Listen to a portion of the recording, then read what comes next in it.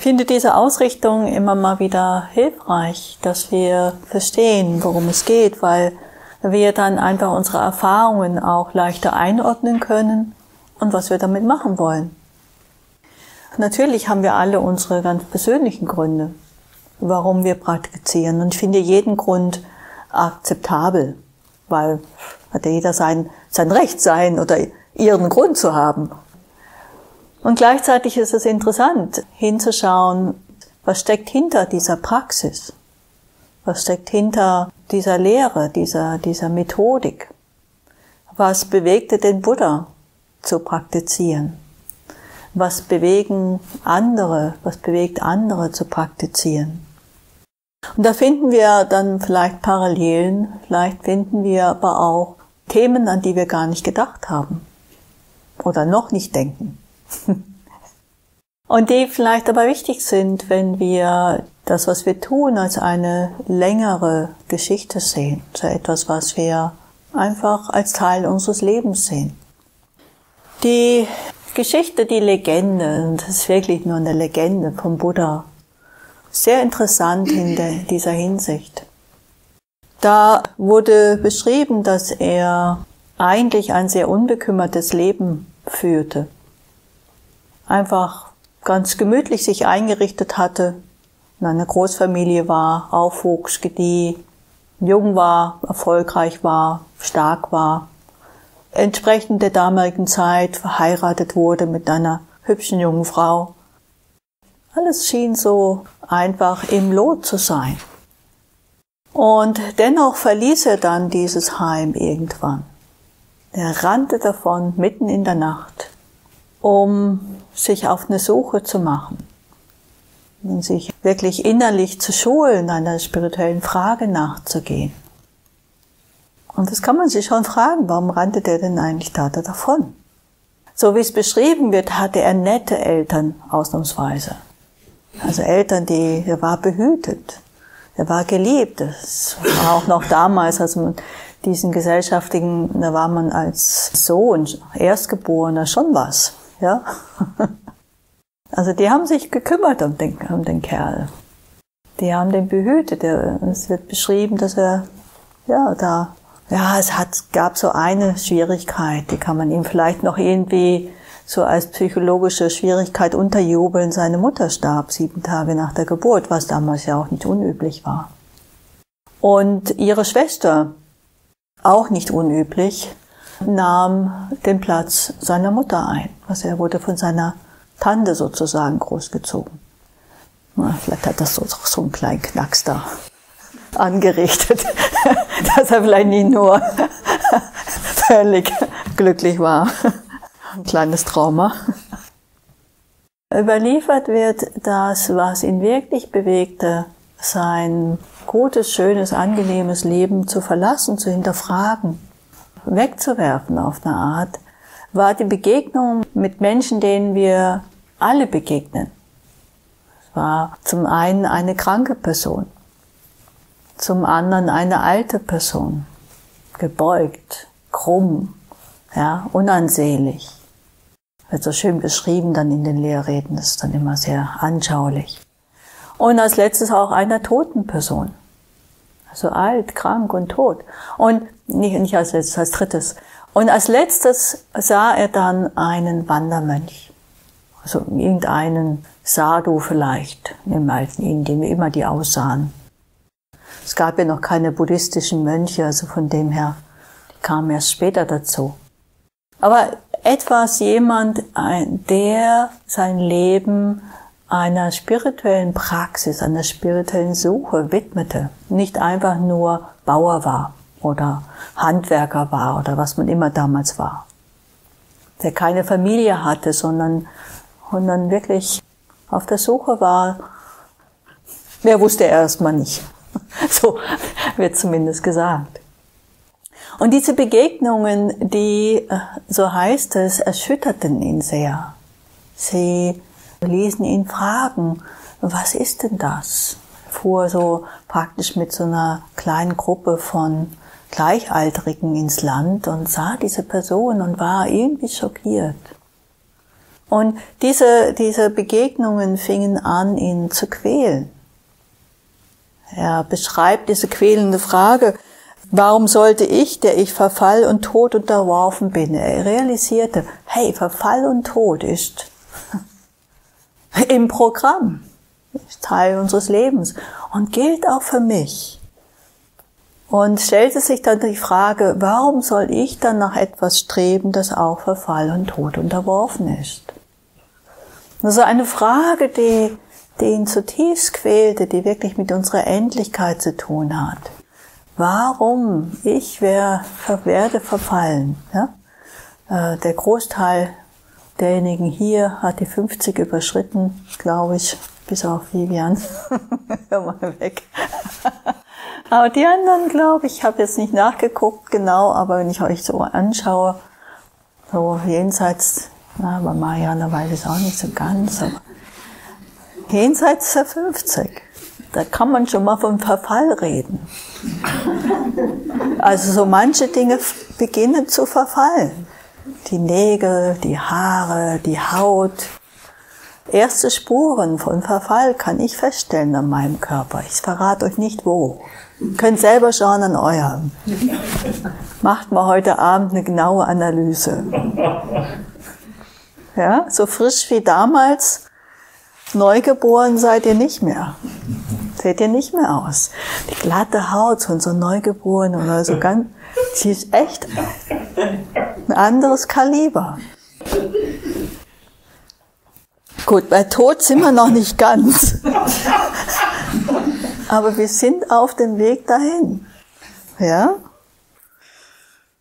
Es ist in dem Alter, ich weiß nicht, wie es euch geht, aber es häufen sich die uns umgebenden Todesfälle. Es ist ganz erschreckend. Früher hatte man nichts zu tun, nur die anderen. Also meistens. Einige schon auch, ja.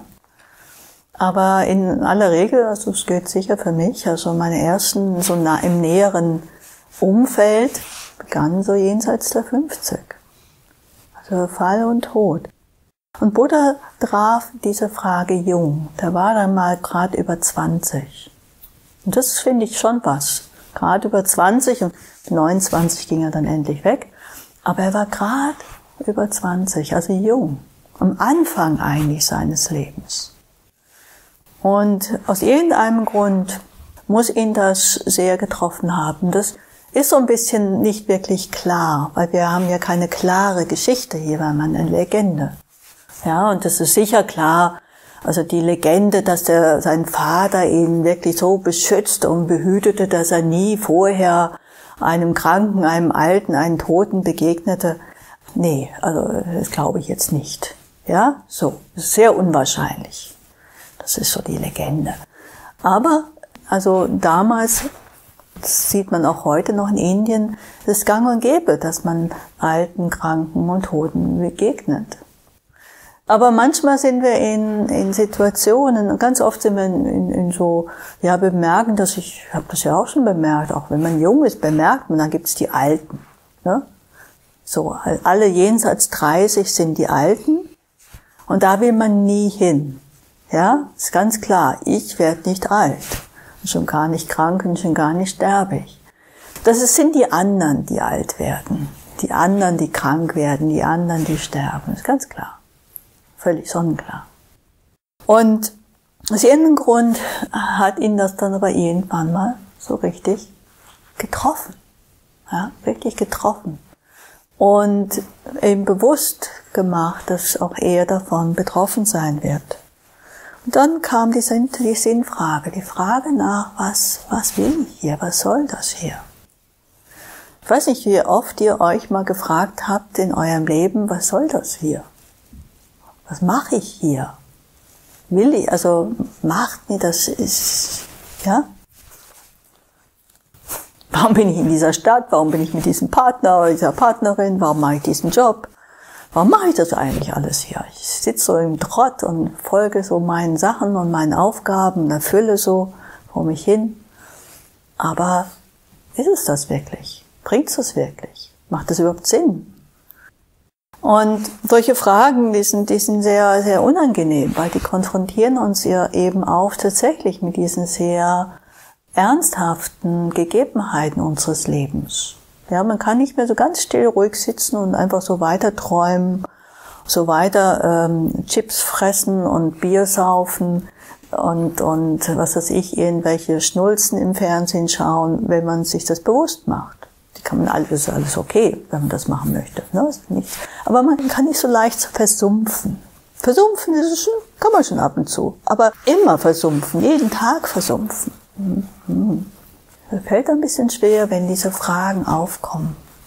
Aber oft wissen wir nicht so richtig eine Antwort. Oder wir wissen nicht, wie wir zu einer Antwort kommen. Oder wir ahnen, und das glaube ich ist noch viel schlimmer, wir ahnen, wenn wir uns nur in die Nähe einer Antwort begeben, heißt das, dass wir etwas ändern wollen, sollen, müssten, ja, je nachdem, wie ihr das haben wollt. Irgendwas schreit dann nach Veränderung, nach Bewusstwerden, bewusster Leben, anders leben, andere Entscheidungen. Ja, manchmal einen Job ändern, manchmal eine Beziehung verlassen, manchmal einen Ort wechseln. Das sind alles sehr, sehr aufwendige, schmerzhafte Dinge. Also jetzt, jetzt habe ich die großen Themen angeschnitten. Manchmal sind es auch nur kleine Veränderungen, dass man irgendeine Sache lässt, anders macht, ja, dass man vielleicht weniger über andere herzieht, einfach zum Vergnügen zum Beispiel, ja, so, weil das einfach nicht wirklich Sinn macht.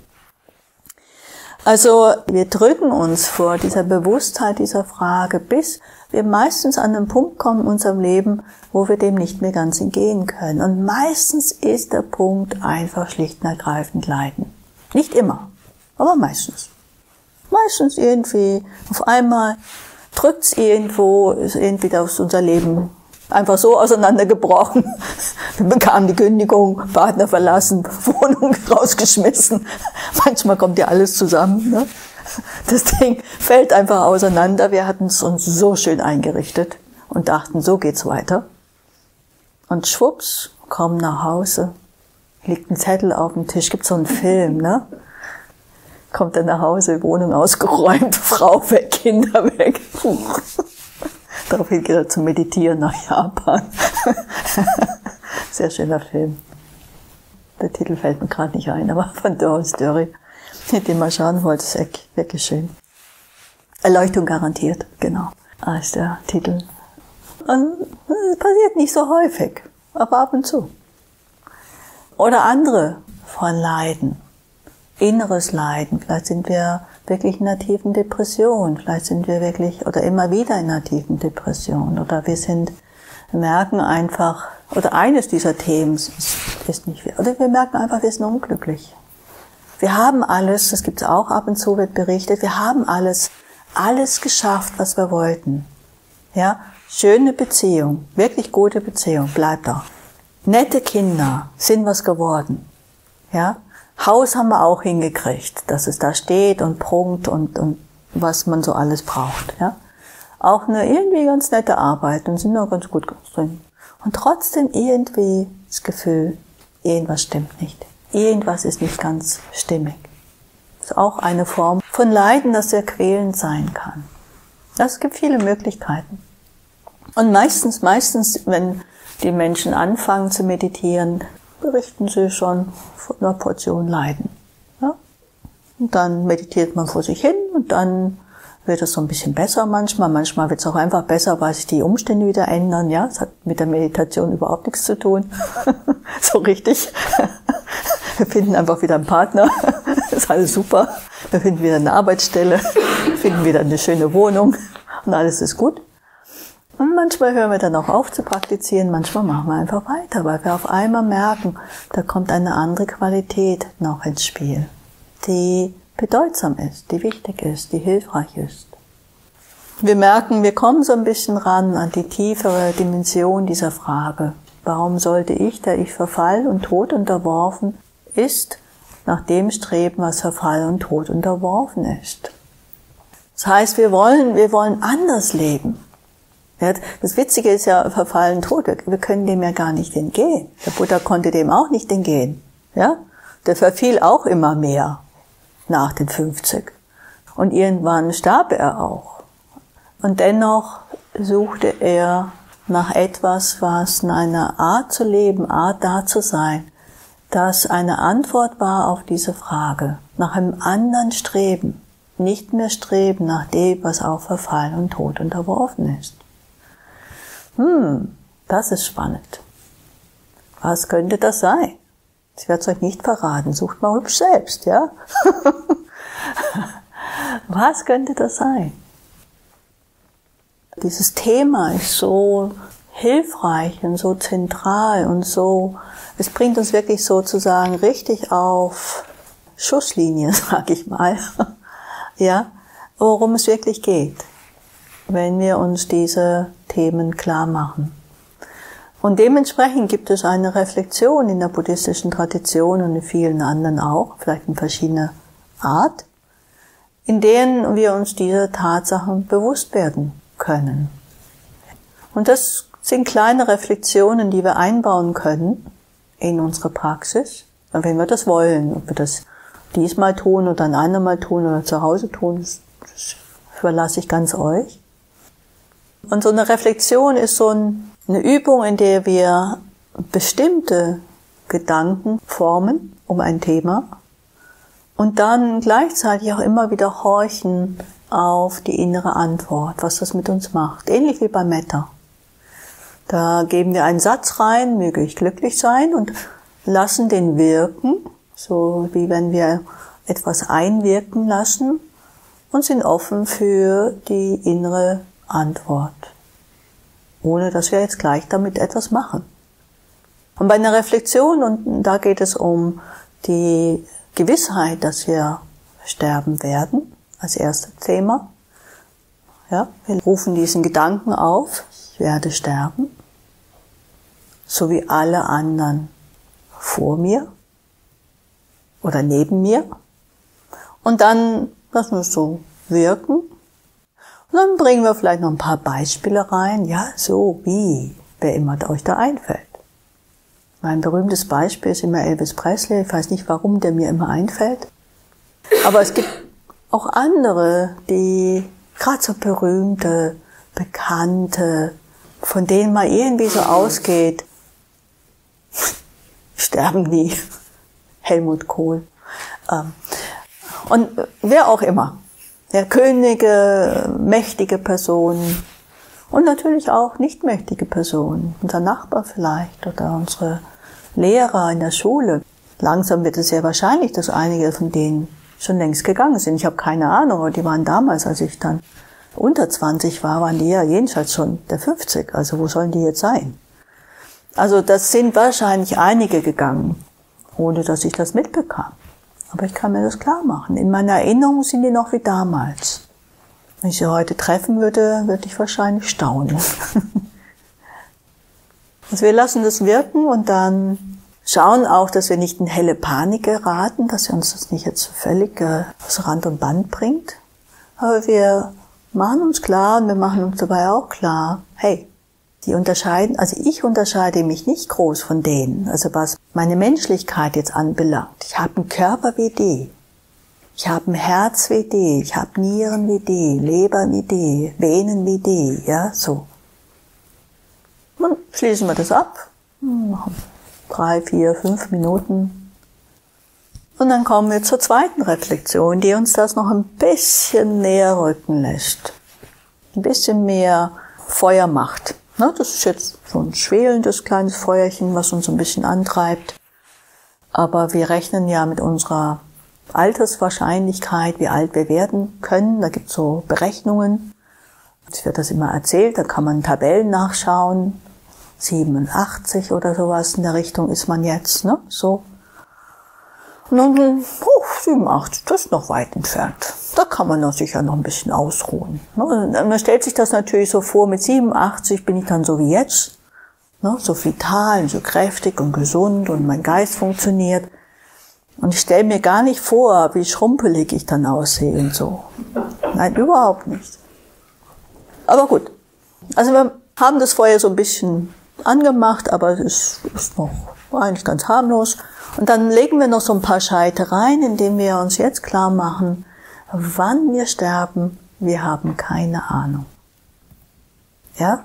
so gesund wir sind, so schön wir sind, so äh, gepolstert wir sind oder was weiß ich auch, wie glücklich wir sind. Oder andersrum, so unglücklich wir sind, so krank wir sind, so keine Ahnung, was wir sind. Wir haben keine Ahnung. Wir können morgen sterben. Wäre nicht so schön fürs Engel, es gibt ziemlich viel Drama. Aber in zwei, drei Wochen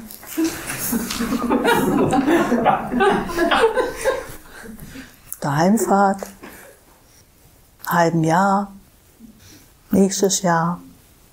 Und das sind Sachen, die sind, die sind schon vorgekommen. Ich weiß auch eine Teilnehmerin, die hier ein paar Mal kam, in drei Wochen groß, wollte wiederkommen. Das nächste Jahr war sie aber schon tot. Ging nicht wiederzukommen. Und es war völlig unvorhersehbar.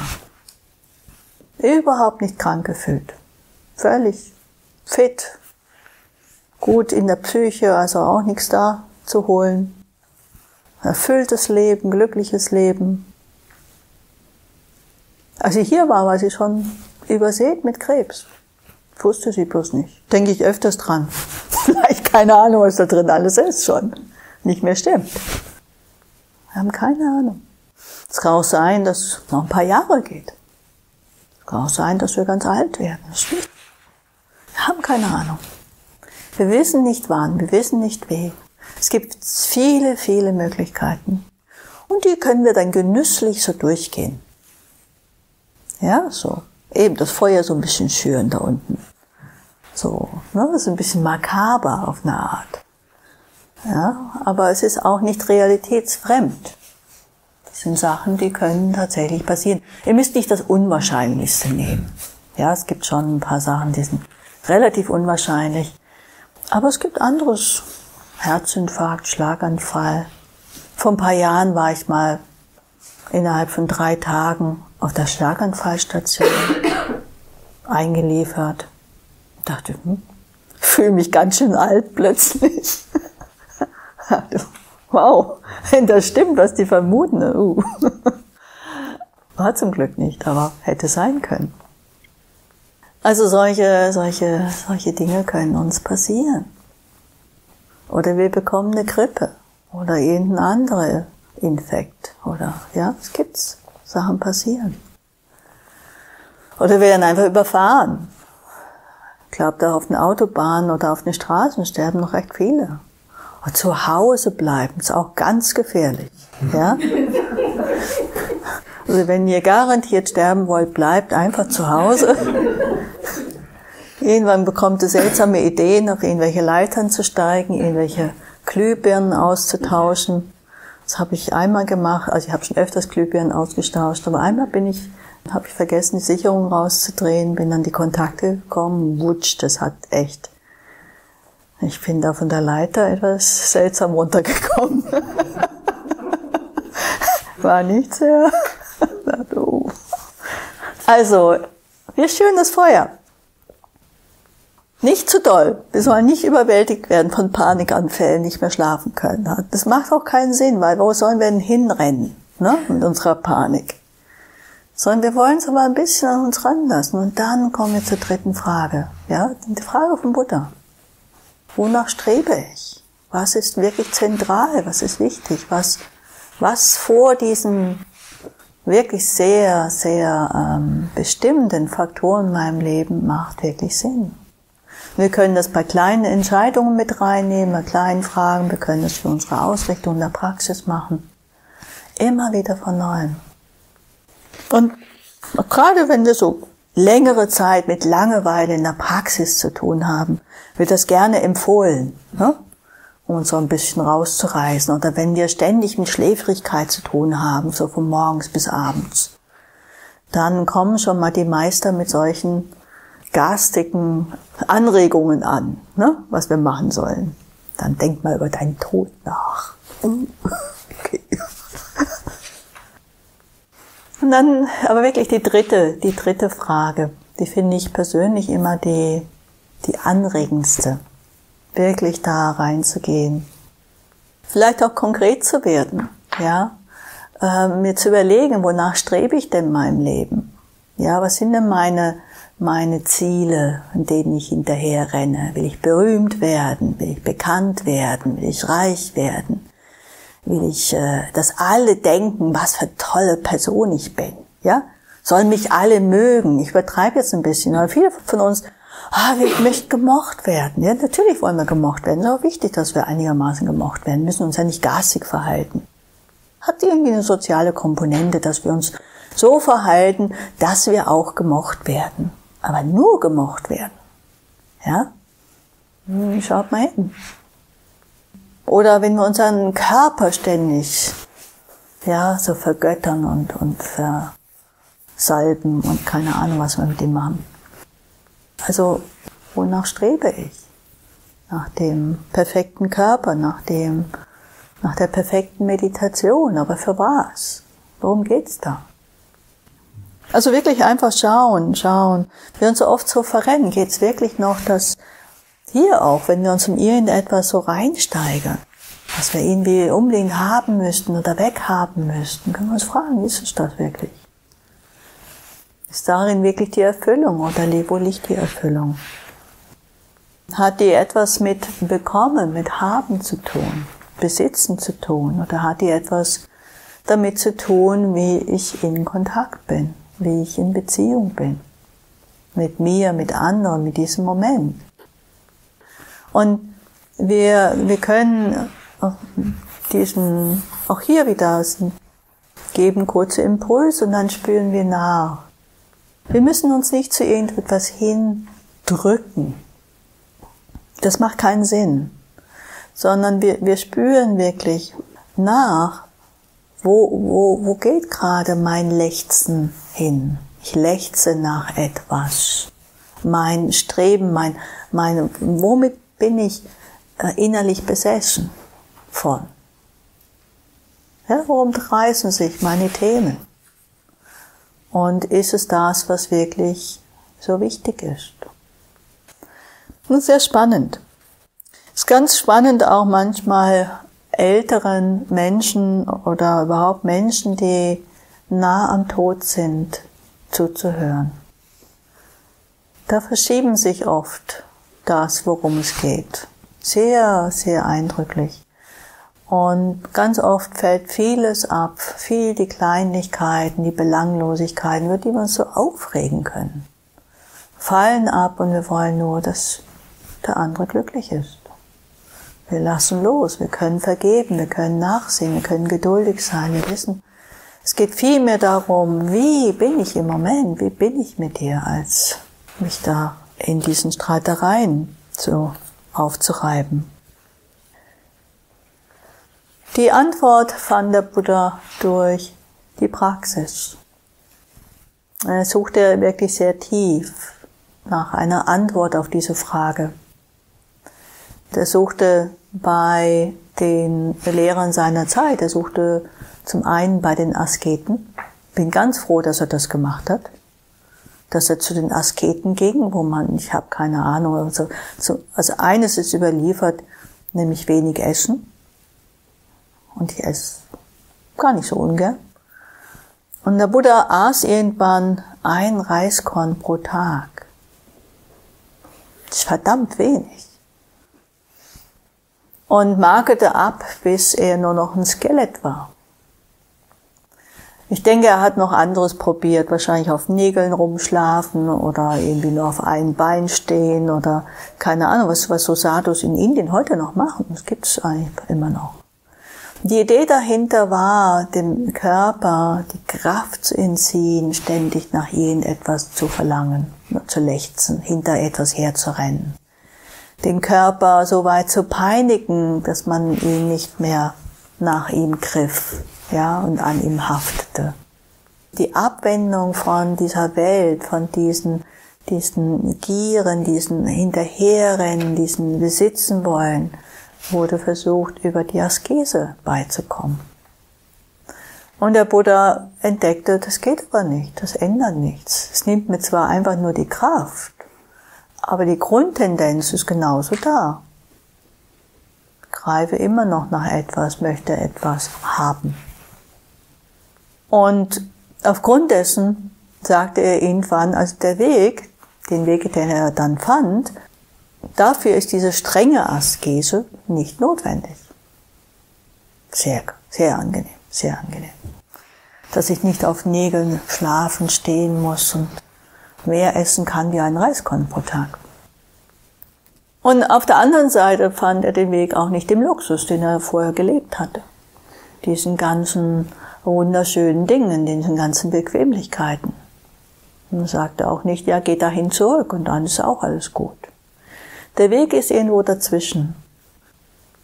Und das ist immer nicht so ganz einfach, weil was ist dazwischen?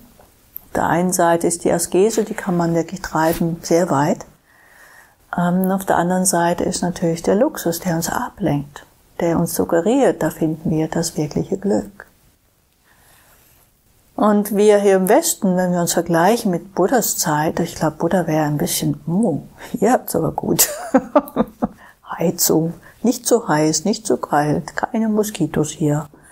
Weiche Polster für die Knie und weiche Polster für das Gesäß und Stühle ab und zu und Decken und Betten mit Matratzen wundervolles Essen mit verschiedensten Gemüsen, die immer meistens in schönen Farben miteinander auf dem Teller kommen. Das ist wohl überlegt. Es geht sehr oft um Farben auf dem Teller. Also falls ihr das noch nicht bemerkt habt, genießt das mal, das Arrangement so. Und genießt es auch genauso mal, wenn es mal nicht so ist. Dann merkt man erst den Unterschied. Ja, und, und all diese Sachen. Buddha, das sah ganz anders aus. Ja, ich weiß nicht, was er dazu sagen würde. Das nicht ein bisschen viel wäre. ich finde es ganz okay.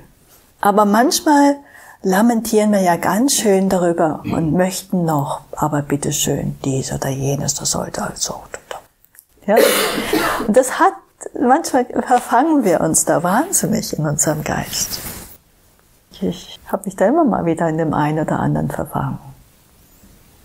Und für manche von, von euch oder von Menschen, die in solche Retreats kommen, ist es manchmal ein ganz schöner Schritt, weil verglichen mit unserem Normalleben in allermeisten Fällen, oder in vielen Fällen, sag's mal so, ist es schon viel Einfachheit, viel mehr einfach, sehr viel Entsagung. Wir sind gemütliche Sessel und Sofas gewöhnt. Zum Glück gibt's ein bisschen was da vorne. Wir sind ähm, oft andere Speisen gewöhnt, äh, andere Getränke bei den Speisen gewöhnt, andere, viele, viele Annehmlichkeiten, die wir einfach so gewöhnt sind. Ein Zimmer, mindestens ein Zimmer für mich allein. Ein Bad für mich allein. Ja, und jetzt müssen wir Bäder teilen. Äh, hä? Haben wir schon lange nicht mehr gemacht. Das letzte Mal in der Jugendherberge vor vielen Jahren. Jetzt sind wir schon wieder dabei. Also das ist schon für viele ein Schritt und es ist auch wichtig, dass wir uns das anerkennen. Und gleichzeitig können wir ab und zu vielleicht auch mal entdecken, dass diese Einfachheit uns auch Klarheit schenkt. Ich merke das immer dann, wenn es mal nicht so einfach ist. Ich glaube, ich hatte es kurz erwähnt in einem Vortrag. Dieses neue Retreat mit diesen vielen Platten. Ne? Käseplatten, ich weiß nicht, zehn verschiedene Sorten.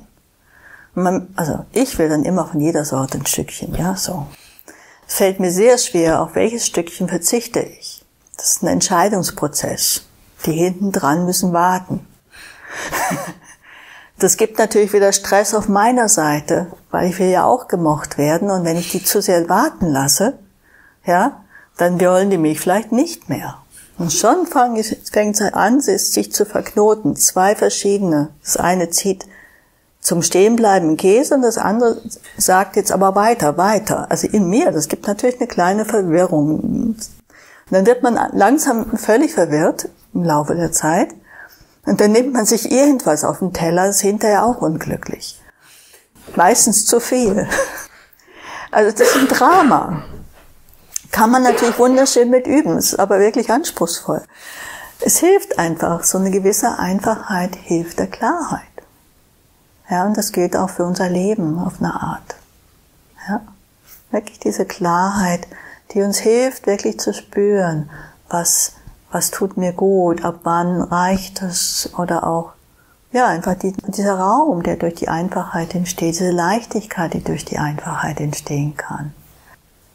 Sehr schön, das einfach so ein bisschen mitzukriegen. Also die, die Einfachheit hier auch ist nicht nur aufgrund mangelndes Geldvermögens und so, ne, sondern einfach auch eine Unterstützung für die Praxis. ist wirklich auch so gedacht so dass wir uns auf das Wesentliche konzentrieren können, das nicht aus den Augen verlieren. Das Wesentliche ist diese Frage, von die der Buddha spricht. Warum sollte ich, der ich Verfall und Tod unterworfen bin, nach etwas streben, das auch Verfall und Tod unterworfen ist? Ist immer wieder, wenn ihr euch in irgendetwas verrennt, so eine Geschichte, dieser, jenes muss ich unbedingt haben in meinem Leben, prüft sie einfach mal auch darauf hin. Buddha ging auch zu den, gab es auf der einen Seite die Asketen, auf der anderen Seite gab es diejenigen, die die meditativen Versenkungen lehrten.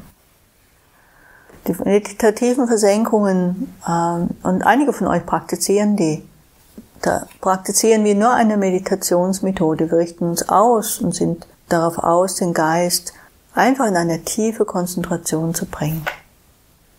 Und in der tiefen Konzentration erfährt der Geist ein vom Weltlichen losgelösten Glück. Von der Welt losgelöstes Glück. Ja, dann streben wir nicht mehr nach äußeren Dingen, aber wir streben nach diesem inneren Konzentration, nach diesem inneren Gesammeltsein. Und dieses Glück löst sich wieder auf in dem Moment, wo die Konzentration sich auflöst. Das ist das kleine Problem. Ja, das ist auch das, was der Buddha entdeckte. Und aufgrund dessen sagte er, das reicht mir nicht, das ist nicht die Antwort auf meine Frage. Es ist immer noch etwas, was auch Verfall und Tod unterworfen ist. Hm. Und so ließ er seine Lehrer stehen und sagte, jetzt, ich ziehe weiter, statt mit ihnen zu lehren. Und er sagte nicht gleich, Konzentration ist schlecht und falsch oder nicht richtig oder man sollte sie nicht entwickeln. Er sagte nur, da hört der Weg nicht auf.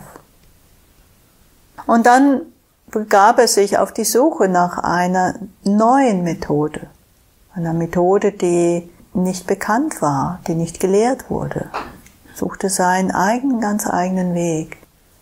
Und das ist dann so ein, das ist gewagt, finde ich. Ja, es ist wirklich gewagt. Wir wissen nicht, wir haben eine tiefe Frage, wir wissen nicht, welche, was führt mich zu einer tiefen Antwort. Und da kann man gut in Sackgassen landen. Man kann gut in irgendwelchen sonst wie verrückten Zuständen landen. Wenn man einfach so sich da auf die, mit dem Geist da irgendwie irgendwelche Sachen macht. Und äh, Deswegen finde ich das sehr mutig, dass der Buddha da ging.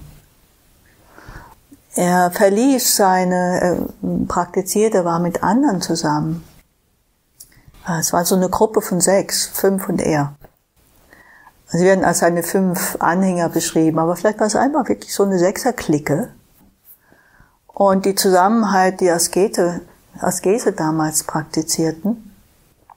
Und der Buddha dann irgendwann sagte, nee, das bringt nichts mit der Askese. Und er verließ und sagte, okay, ich höre jetzt auf damit und fange an wieder zu essen und gehe einen anderen Weg. Und wie Klicken halt dann so sind, ja, wenn einer so ausschert und macht jetzt was anderes, wird er natürlich von der Clique verstoßen. Wie kannst du nur? Du brichst jetzt das Fasten, die Askese. Von dir wenden wir uns ab, wir machen zu fünf dann weiter. Und das ist immer so, so aus einer Gruppe rausgeworfen zu werden, ist, ist, ist immer ein bisschen schmerzhaft. Ich weiß nicht, wie es euch geht dabei. Also er machte sich wirklich sehr beherzt auf seinen neuen Weg und folgte einer Eingebung, und das ist dann gar nicht logisch, was er da beschreibt, er folgte der Eingebung, in die erste Vertiefung zu gehen, von der aus wäre dann das Sprungbrett in das Erwachen.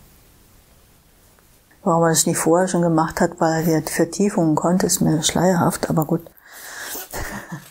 so gewisse Ungereimtheiten sind da da.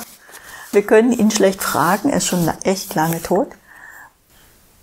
Aber wir können, wir haben überliefert, was danach passierte.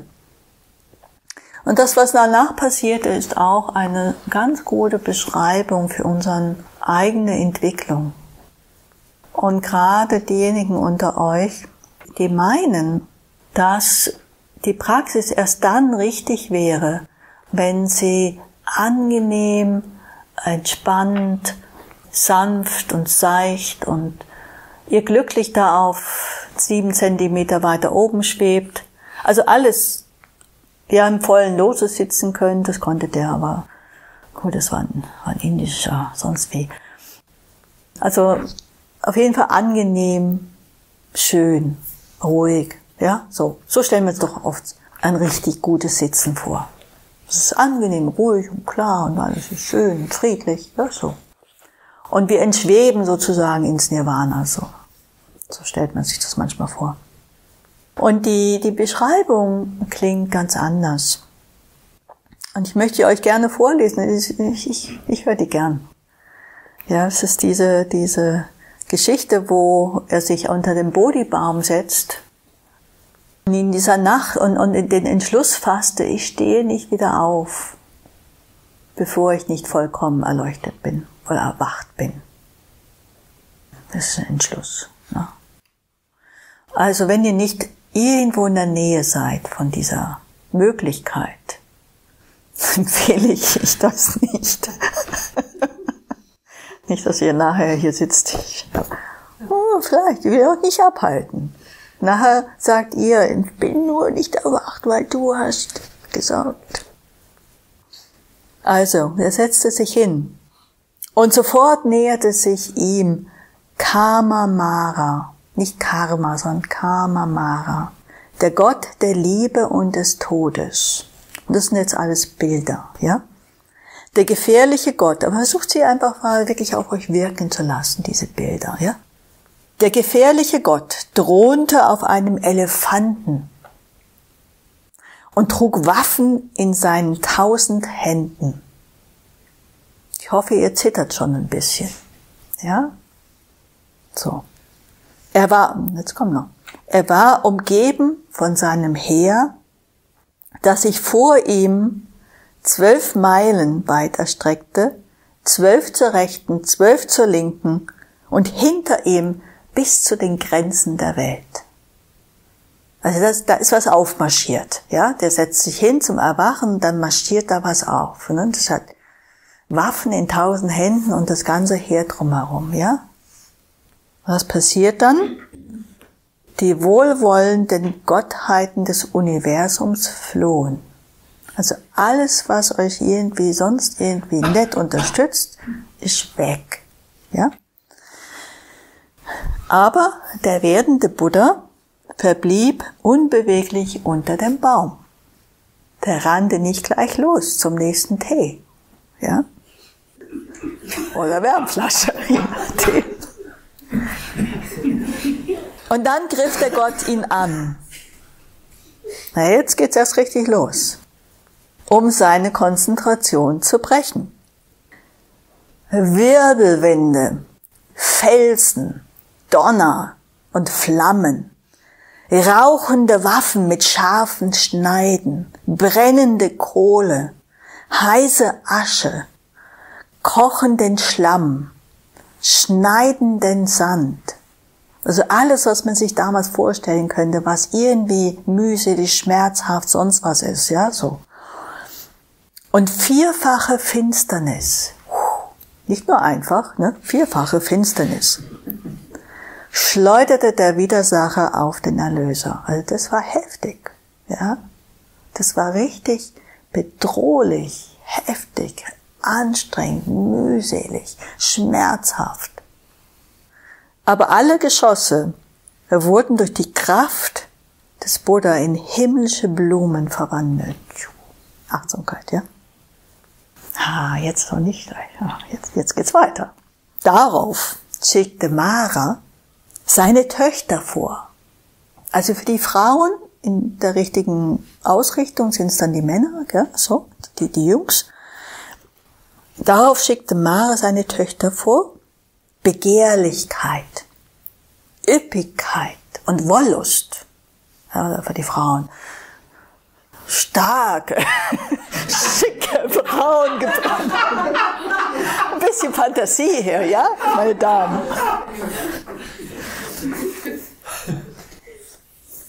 So, so ein Winnetou-Verschnitt, ja, so umgeben von üppigen Begleiterinnen. Also die wurden jetzt auf den Plan geschickt, ja. Kamen vorbei, also falls euer Geist ab und zu mal abgleitet in irgendeine schicke Fantasie. Aber der Geist des Buddha wurde nicht abgelenkt. Okay. Schließlich, als letztes, forderte der Gott sein Recht, des Buddhas Recht, auf der unbeweglichen Stelle zu sitzen schwang zornig seinen Diskurs, der scharf war wie ein Schermesser, und befahl der Masse seines Heeres droben, sich wie ein Erdrutsch auf ihn zu werfen. Was bildest du dir ein, dass du erwachen kannst? Hä? Habt ihr das mal gehabt, diesen Gedanken, was bildest du dir ein, hier zu sitzen? Hm? Irgendwas zu wollen. Dieser Praxis, diesem Geist, diesem Körper. Der werdende Buddha bewegte jedoch nur seine Hand, um den Boden mit seinen Fingerspitzen zu berühren und so die Göttin Erde zu bitten, für sein Recht zu zeugen, dort zu sitzen, wo er sich befand. Sie tat es mit hundert, mit tausend, mit hunderttausend Donnern, so, wie der, so dass der Elefant des Widersachers in die Knie fiel in Verehrung vor dem werdenden Buddha. Das Heer war im Nu in alle Winde verstreut und die Götter aller Welten ließen Girlanden regnen. Da waren sie dann wieder. Ne? Als die Schlacht vorbei war, kann man ja wieder antanzen. Also die waren ziemlich nutzlos, mit anderen Worten. Ich finde find die Geschichte wirklich sehr hilfreich, manchmal durch unsere Themen zu gehen. Mhm. Durch sowohl diese, wenn wir überrollt werden von Fantasien und, ah, und ja, das ergreift dann schon mal. Wenn wir überrollt werden von, von Zweifel, dass wir überhaupt irgendetwas erlangen können. Oder natürlich einfach sitzen in diesen ganzen oft sehr schwierigen Geisteszuständen dann können wir uns da vielleicht ein bisschen Mut machen, indem wir denken, hey, der Buddha hat es auch nicht nur einfach gehabt. Ja? Stellt man sich immer so vor, aber der ist da wirklich durch sehr, sehr anspruchsvolle Prozesse gegangen. Und blieb aber einfach dabei. Und deswegen habe ich auch immer wieder so, so ein Vertrauen in die Praxis, dass es möglich ist zu erwachen, dass es dazugehört, diese, diese Themen, diese Schwierigkeiten. Wir brauchen einfach nur weitermachen. Und bei unseren Fragen bleiben, bei unseren Praxis bleiben. Wobei wir natürlich immer mal wieder, wie gesagt, ich habe gerade gesagt, also wenn ihr nicht das Gefühl habt, dass wirklich das reif, vielleicht nicht gerade unbedingt sinnvoll, dass ihr bis morgen früh hier sitzt und morgen dann wahrscheinlich ein Ischias leitet, ein anderen Dingen leitet, ja, so. Und man muss euch erstmal wieder irgendwie den Schuss kriegen. Also wir brauchen so ein bisschen auch ein Spüren, was liegt gerade drin. Vielleicht, wenn wir sehr rastlos sind, vielleicht doch zwei Minuten stillsetzen. Wenn wir etwas müde sind, vielleicht doch fünf Minuten länger meditieren. Dennoch. Einfach, dass wir, oder wir bekommen, ah, jetzt, jetzt unbedingt brauche ich sofort was zu trinken. Vielleicht nicht. Vielleicht aber auch doch. Dass wir immer wieder reinspinnen, dass wir uns nicht einfach so treiben lassen von den ersten Impulsen. Dass wir ein bisschen testen, was geht denn hier wirklich ab? Ich muss dem nicht nachgeben. Aber ich ist manchmal sinnvoll nachzugeben. Manchmal sind wir einfach müde, manchmal müssen wir einfach schlafen. Manchmal müssen wir einfach essen, manchmal müssen wir uns einfach in den Arm nehmen innerlich. Also das ist einfach auch etwas, was was sehr viel Weisheit braucht, sehr viel Einfühlungsvermögen braucht, aber auch immer wieder diese, auf der anderen Seite, dass wir wirklich auch am Brennen sind. Wir am inneren Brennen sind. Dass wir wachsen wollen, dass wir uns verändern wollen, dass wir zu dem wirklichen tieferen Sinn finden wollen vor dieser wirklichen äh, Hintergrund unserer Sterblichkeit. Dass wir etwas machen wollen aus unserem Leben. Dass wir das wirklich ergreifen wollen und nutzen wollen und wirklich aus dem Herzen leben wollen, statt immer so getrieben zu sein. Und dazwischen, wenn wir diese beiden Pole haben, auf der einen Seite wirklich diese Intention in uns wachrufen, dann entsteht ein brennendes Interesse. Uns klar mal, hey, so viel Zeit habe ich nicht. Und auf der anderen Seite haben wir Zeit. Auf der anderen Seite müssen wir schauen, was ist möglich. Müssen wir auf uns spüren, müssen wir auf uns horchen, unsere Grenzen beachten. Die beiden äh, zusammen helfen uns, das rechte Maß zu finden, was so ein bisschen jenseits unserer Bequemlichkeit ist. Ich sage Bequemlichkeit. Manchmal sind wir in sehr anstrengenden Prozessen gewesen, entweder vorher oder momentan. Und dann brauchen wir oft hinterher so eine gewisse kleine Erholung, gewisse kleine Beruhigung, dass sich unser System wieder sortieren kann. Aber danach geht's wieder los. Unser Wachstum ist an der Grenze unserer Bequemlichkeit. Da findet Wachstum statt. Da fangen wir an, uns auszudehnen. Ja? Das ist so ein bisschen was wir immer so finden wollen. Am Anfang gebe ich gerne ein bisschen Gas im Retreat, bringe das so rein in die Gruppe. So, jetzt machen wir mal. Ne? Und dann heißt es aber, dann rollt es, und dann, dann geht es nicht mehr darum, so viel zu forcieren. Und hält man einfach, schaut mal, bin ich dran, an der Grenze, passiert, ja? Oder dümpelt es so vor sich hin.